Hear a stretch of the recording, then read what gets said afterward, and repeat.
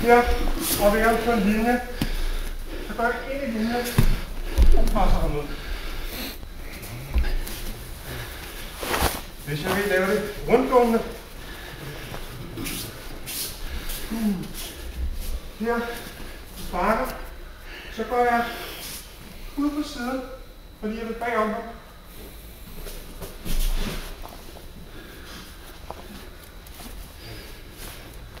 Så det er ikke meningen, at jeg skal sparke hans fod langt væk, så det selv komme rundt om.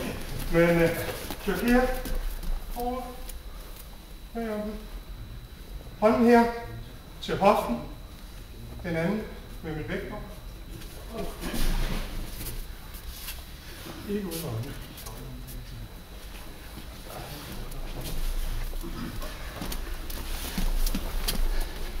Armen i kroppen.